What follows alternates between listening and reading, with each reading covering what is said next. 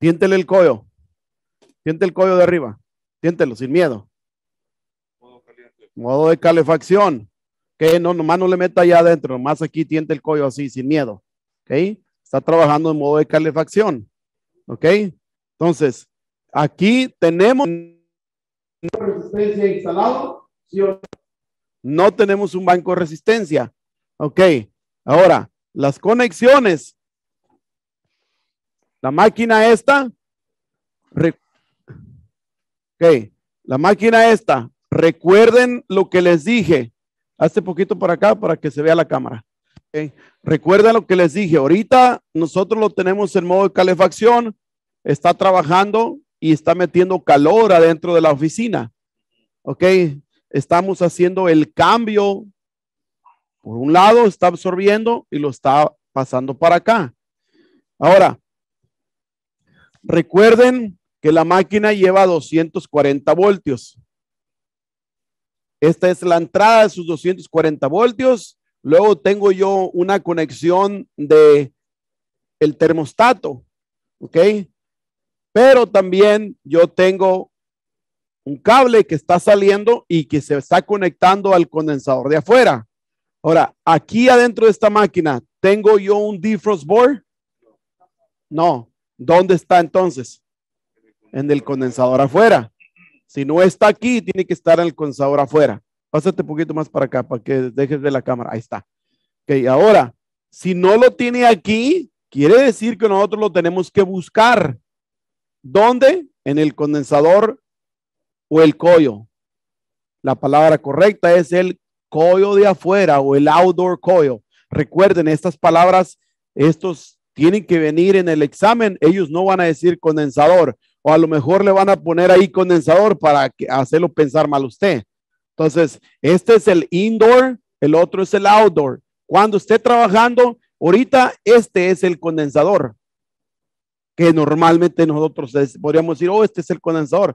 Este se convirtió en condensador, el de afuera se convirtió en el, evaporador. Ok, ahorita aquí hay una chancita que terminemos de aquí. Vamos a sacar, Vamos a sacar una escalera, nos vamos a subir ahí arriba. Antes de que se suban, necesito que se pongan unos cascos y se pongan su vest y vamos a ir a ver arriba el coyo para que vean la temperatura de allá afuera y nosotros la vamos a poner, le vamos a simular que se vaya a defrost para que ustedes vean el funcionamiento de la, de la máquina. ¿Ok? Dicho esto, aquí está ya trabajando en el modo de calefacción. Nosotros tenemos nuestras conexiones que normalmente las vamos a hacer aquí y allá dentro de aquel lado. Ok. No, este es el power. Este es el rojo power. Rojo power, luego lo otro, luego otro, lo otro. Y ahorita les voy a explicar cuáles son los, los, los, los colores. Entonces, nosotros estamos entrando con un cable que sale del termostato y otro que sale al condensador. Este power de aquí tiene que estar controlado siempre con un pull switch o un apagador aquí, ya sea si el apagador aquí o el pull switch. Entonces, este que nosotros tenemos conectado es este de aquí. Nosotros cuando lo apagamos, automáticamente se apaga. Aquí ya no tengo yo voltaje, se apagó. Entonces, aquí ya, ya se apagó la máquina. Yo para que le, le pueda testear si hay, es que hay power aquí, pues primero recuerden que es lo que dijimos. Primero tenemos que, cuando hay que hacerle un troubleshoot a la máquina, lo primero que reviso es el que el power que está entrando. Luego enseguida reviso el termostato. Luego enseguida reviso el furnace y luego me voy al entonces, yo procedo a ponerlo en diferente modo. Si voy a calar yo el equipo en calefacción, lo pongo en calefacción. ¿Y cuántos grados eran para poder calarlo? Sí, pero para, si voy a poner el, el termostato en calefacción, ¿cuántos grados de diferencia tiene que haber para que prenda? Cinco grados, muy bien. Ok, ya con eso ya lo puedo prender Si estaba a 65, entonces yo lo pongo a, a 70. Y ya ahí la el termostato ya sintió una temperatura diferente y tiene que prender. ¿Ok? Entonces, aquí yo ya le pagué el power. Ahí está. Nosotros agarramos nuestro testeador y vamos a medir el power que está entrando allí. ¿Ok? Luego, después, con cuidado, vamos a testear el power que está entrando acá. Ese es el procedimiento de, checar la máquina.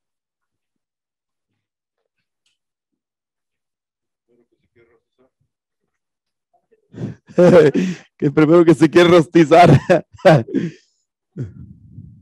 Agarren el testeador, el, este. Tráete este. Allá ve, ve y agarra del mío, te lo voy a prestar. No, así está bien. Sí está bien.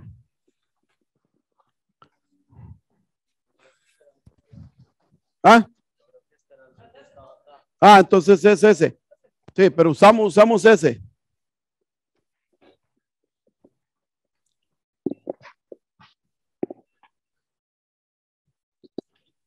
Primero, checamos que haya voltaje en el...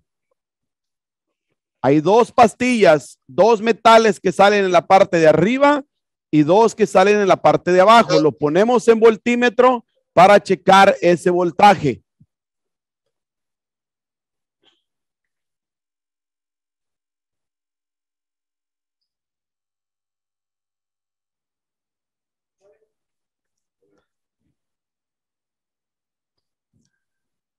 Tiene que haber porque ahí estaba prendido. Tenga mucho cuidado porque ese es voltaje vivo. Pregunta él, dice, ¿quién se quiere rostizar? Él, solito se está rostizando. A ver, mire, déjeme lo, no, agarre usted de agárrelo de este lado. Ok, yo me paso por acá. Entonces, yo veo la dirección como se pone el pull disconnect, ¿ok? Si yo lo pongo en la parte de arriba, quiere decir que está apagado. Ahí dice off. Si la pongo yo en la parte de así volteado, tiene que estar en esta posición on. Entonces, si yo lo pongo así, entra fácilmente y no engancha allí. Pero si lo volteo, entonces va a enganchar.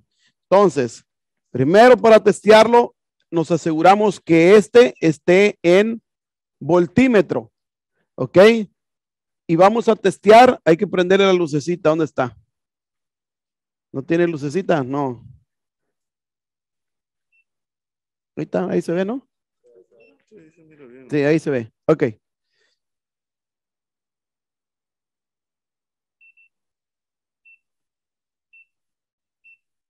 DC, current, AC. Tiene que estar en AC. AC, ok. Ahora, si yo sé que los dos de arriba, lo pongo yo esta posición, los dos de arriba son los que traen el power, porque si, si lo pongo así, ya no me los va a dar. Entonces, los dos de arriba, cuando yo los testeo en la parte de arriba, me tiene que dar el voltaje adecuado. ¿Cuánto marca? 200. Entonces, ¿había o no había? Sí. Ok. Entonces, en la parte de abajo no tiene que haber porque ¿quién es el que le hace el puente? El pull disconnect, ¿ok? Entonces, a este punto, a este punto ya yo sé que hay voltaje y me aseguro que los fusibles estén funcionando. ¿Ok? ¿Cómo lo voy a hacer? O hace poquito para acá, de este lado. Así. ¿Cómo lo voy a hacer? ¿Cómo chequeo yo los, los, los fusibles? Con la continuidad. Entonces, para checar continuidad, primero yo testeo estos dos y, y, me aseguro que haya un sonido audible. Entonces ya puedo testear el de arriba con el de abajo. Funciona. El de arriba con el de abajo. Funciona. Ok, hasta aquí. Ya pasé el primer paso, luego ya el segundo paso. Ya sé que no hay problema aquí. Ok. Todavía no. Vamos a ver. Ok. Hasta aquí ya a mí me mandó el voltaje necesario Entonces yo tengo que testearlo. ¿Pongo dónde? Otra vez, lo pongo de regreso y yo tengo que testear que haya mi voltaje adecuado. 250. Allí ya yo procedo y aprieto ya mis, mis guarnas o las tuercas, las aprieto bien para que no se me vayan a soltar. Hasta ahí ya sé que ya está trabajando todo. Ahora, ¿cuál es el otro? ¿Cuál es el otro procedimiento que, dice la, la tablita que tengo que checar? No, no, allí, la máquina. ¿Qué otro procedimiento tengo, que checar? Ya chequé voltaje, ¿verdad? Ya sabemos que está trabajando en cuánto. Ok, el motor HP ya sé, pues ese no lo puedo checar porque ya está, pero yo quiero saber qué. El FL, el FLA, ¿cómo lo voy a checar? Yo voy a poner mi testeador en dónde? Un poquito para acá, porque la cámara la, la, la tapas. Ok, ¿en dónde lo voy a checar?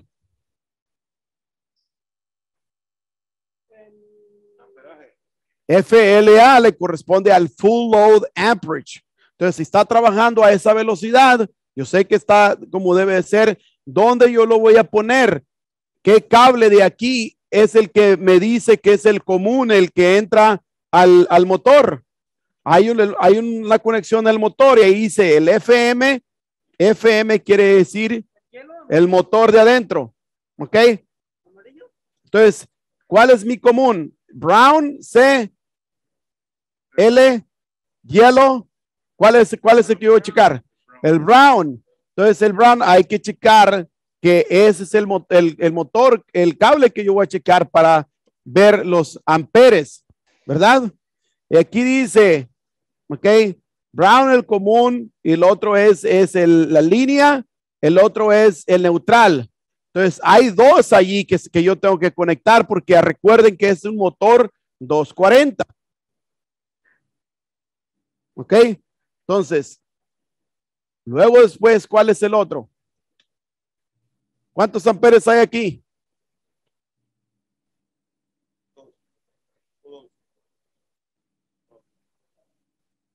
Punto dos, punto tres, ¿verdad? Ok, yo voy a buscar el que yo necesito para que me dé los amperes necesarios. Uno, dos. El otro es el azul, creo. 0.1. ¿Cuál es el amarillo? Punto 66. ¿Qué decía el amarillo? ¿Qué decía el amarillo? L. El amarillo decía L y el, el, perdón, neutral y el otro decía L. Entonces, ¿cuáles son los que yo tengo que checar? El brown y el black. El black y el yellow. Son los dos. Entonces, aquí, ¿cuántos amperes tengo? 1.65. Yo lo escribo. Y ahora, yo lo escribo y ahora yo pongo el, el negro. ¿Cuánto dice? 1.65. ¿Cuánto es lo que debe tener la máquina? ¿Dónde está? Ahí la tapaderita. Léale. ¿Qué dice? 1.60, ¿verdad? No. El 2.8. Dice, no. Face, face and hers. Ok. Motor, motor FLA 2.8. Ok. Entonces, Exacto. ¿Por qué está jalando de más? 2.68, ¿verdad? Se fue a los 3. ¿Por qué?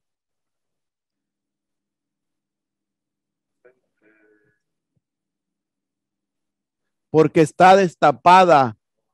Porque estamos absorbiendo un aire que no debe ser para que el motor trabaje como es, solamente tiene que absorber del retorno.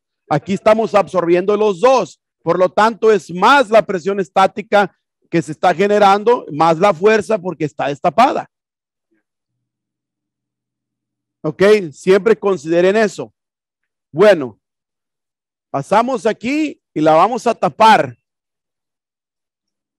Pero ya vieron cuál es el FL, FLA, ¿verdad? Ok. Ok. Luego, después de ahí, ¿qué sigue en la, en la, en la de aquí? ¿Qué más tenemos que checar? De, la, de lo que dice el name tag. Si ya checamos el, el amperaje, ya checamos el full load amperage, ya checamos el voltaje. Ahora, ¿qué más necesitamos checar? Ya sabemos que, es de una sola fase y de que es de 60 Hertz.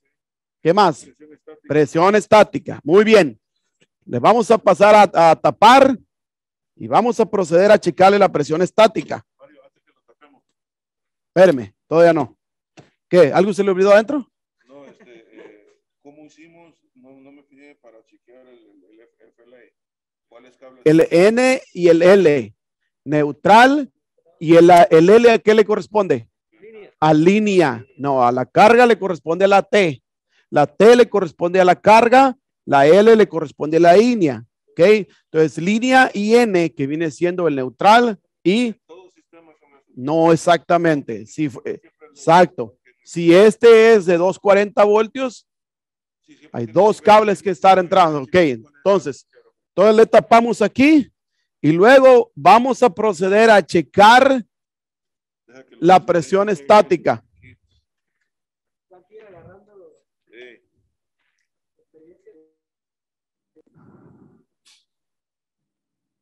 Traemos entonces el aparato.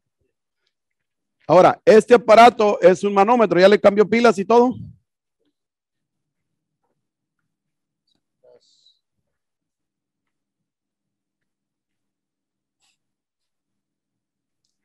Este aparato es el manómetro que vamos a necesitar para checar la presión estática. Este que está aquí, no. Este, este es para el gas. ya lo compré Ok. ayer. ¿ah? Hay uno igualito a ese como 60 baros, ¿no? No, este 300. Ah, perdón. Ah, perdón. Soy pobre todavía. Y- es que es que él sí trabaja. Él sí, perdón si lo ofendí, ¿verdad? Sí, ok.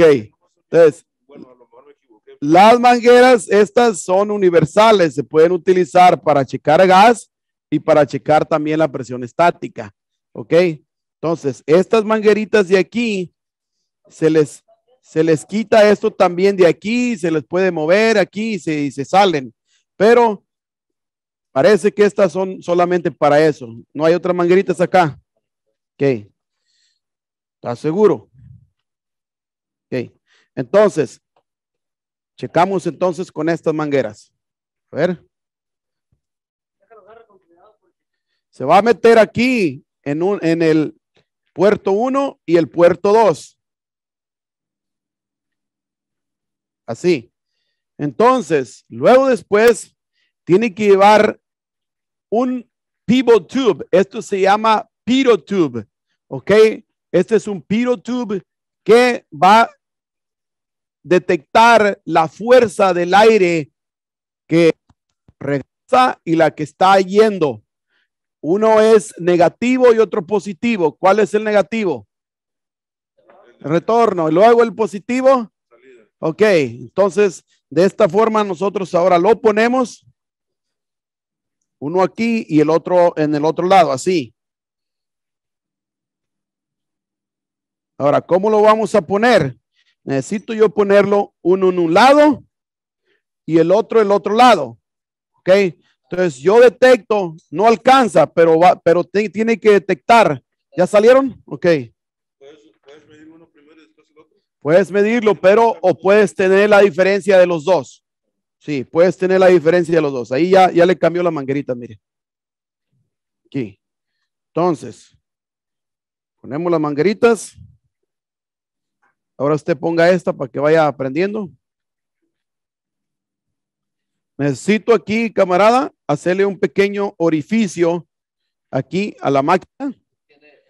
Aquí uno, ocupamos un hoyito aquí. Ya está un hoyito ahí. Sí, pero es uno, uno que necesitamos nosotros entrar. Nosotros necesitamos entrar y otro que va a salir. Ajá. Ok, ahí está uno. Bueno, pero necesitamos entonces ponerlo aquí al retorno. Oh, hasta. Oh, ok, claro. ¿Este es magneto?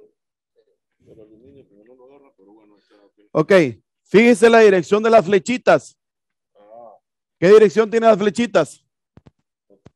Esta, La flecha tiene que ir para abajo. la flechita, si esta flechita yo, yo estoy detectando el, el, el retorno, yo voy a poner la flechita para dónde? Para abajo. Para abajo.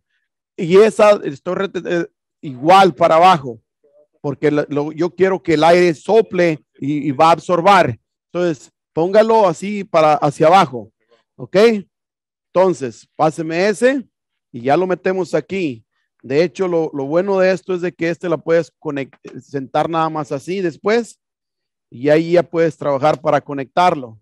Ok. 200 y algo. 200. Sí, sigue con 200.